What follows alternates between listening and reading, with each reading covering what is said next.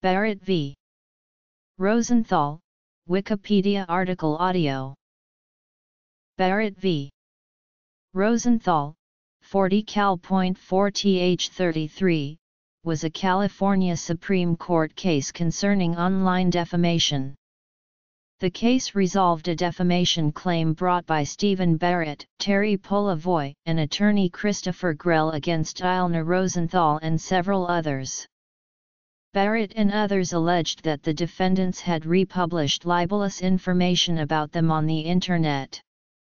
In a unanimous decision, the court held that Rosenthal was a user of interactive computer services and therefore immune from liability under Section 230 of the Communications Decency Act. The California Supreme Court reversed a judgment by the California Court of Appeals, First District, which would have allowed a trial on one of the defamation claims.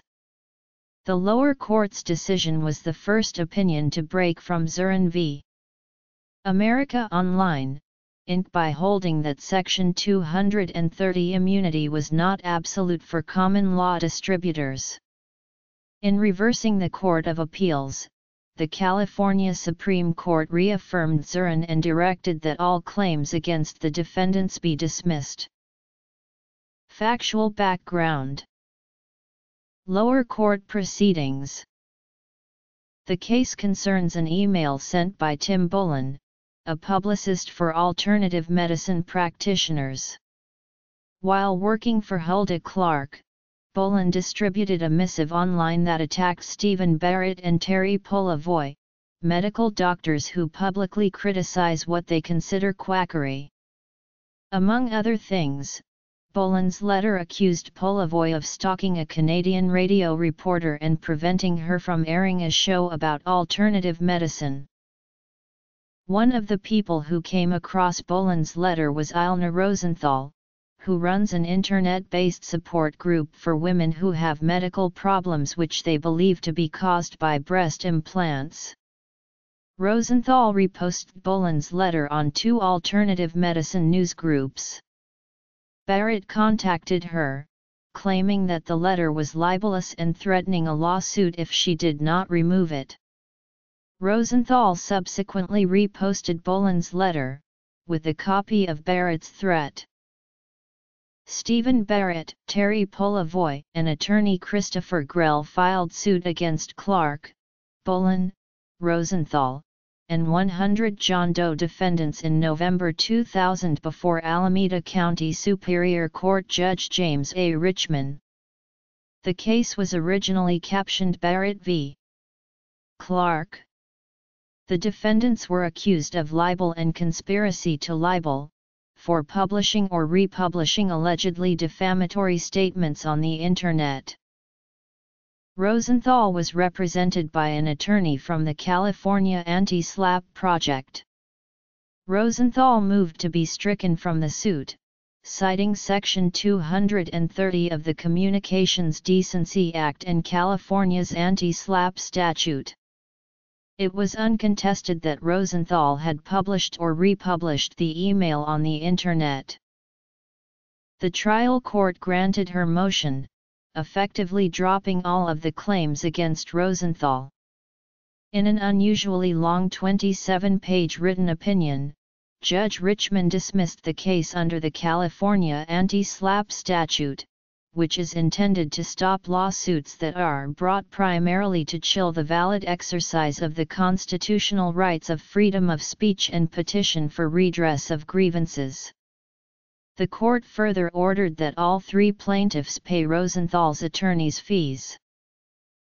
California Supreme Court Decision The appellate court upheld the dismissal against Grell and Barrett, but vacated the decision as against Polevoy.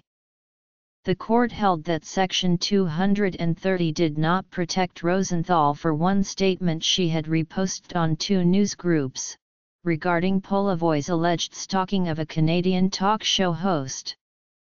The court ruled that Rosenthal, as a distributor, could be held liable under Section 230 for content republished after receiving notice of a potentially defamatory statement, just as vendors of traditional media can be. Rosenthal petitioned the California Supreme Court to hear the case, and the court granted her petition for review in April 2004. The California Supreme Court overturned the lower court in November 2006, in a landmark decision that is the first to interpret Section 230 defamation immunity as providing immunity to an individual Internet user who is not a provider.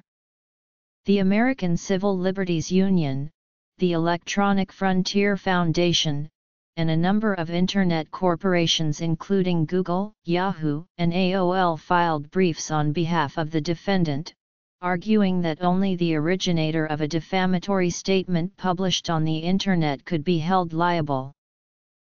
In the majority opinion, Justice Corrigan observed that the plain language of Section 230 shows that Congress did not intend for an Internet user to be treated differently than an Internet provider. Both had immunity from liability for the republication of defamatory content on the Internet. The court agreed that subjecting Internet service providers and users to defamation liability would tend to chill online speech.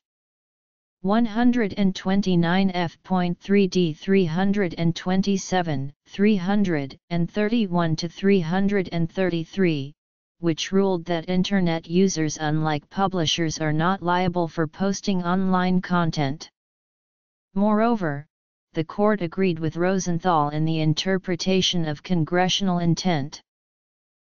The congressional intent of fostering free speech on the Internet supported the extension of Section 230 immunity to active individual users.